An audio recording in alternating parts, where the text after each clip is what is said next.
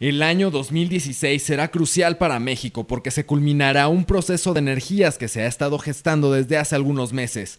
No es casualidad la visita del Papa, manifestó Sananda Kumara, director internacional de Códigos Solares.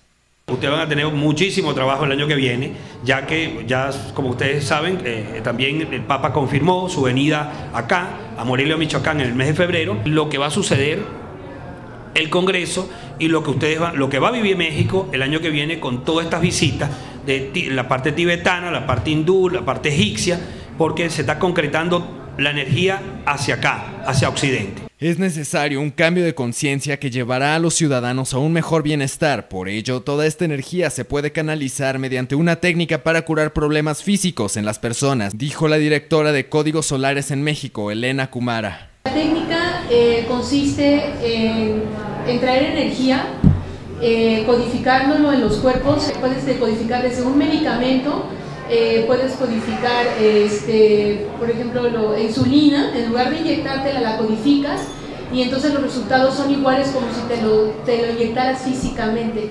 Si esa es la parte cuántica. Entonces, cuántico es lo que va como más allá de que existe la parte científica, pero no hay una, comprobación como tal. Los ciudadanos podrán tener acceso a este y más conocimientos de los procesos energéticos en el Congreso Internacional que se llevará a cabo en la ciudad de Morelia los días 21 y 22 de noviembre en el Centro de Convenciones. Con información de César Hernández, informa Acuazar TV.